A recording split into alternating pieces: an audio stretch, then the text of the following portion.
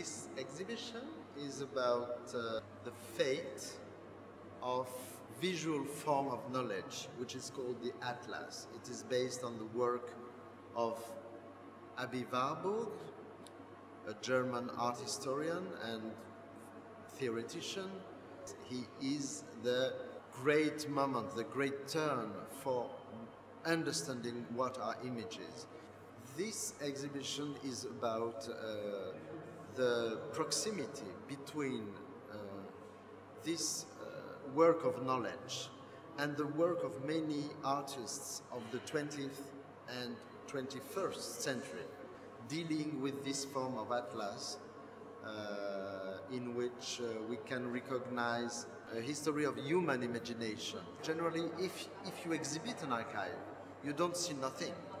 The real use of an archive is to work with weeks after weeks, month after months, uh, years after years. It's long. However, an atlas is a synoptic presentation of differences. You see one thing and a very different thing close to this. And the, the aim of an atlas is to make you understand the link, which is not a link of similarity, but a secret link between two different things. And so the atlas is a more visual tool than any archive, of course. Atlas is a work of montage in which uh, different times come together. It's a shock. And so it's not only a question of hanging beautiful things on the wall, it's about the working process, which is uh, sometimes, uh, very often, a work on the table. I play on the words in uh, French, tableau and table. And uh, when you have a table, you have two different objects, or, or three, three.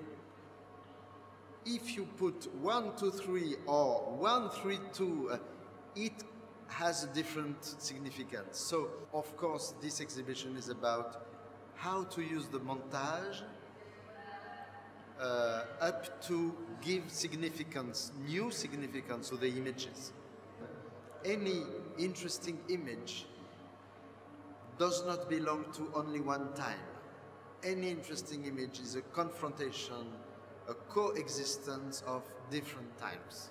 Making the history of art through atlases is the contrary of making a history of art as a narrative. Uh, Warburg was considered by everybody in art history as a kind of uh, ancestor.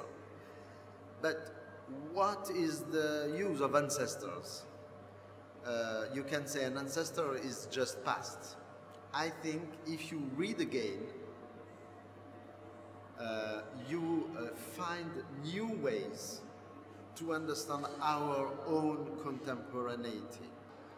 I think Warburg was impoverished, and we must today read again Warburg to uh, discover this uh, richness.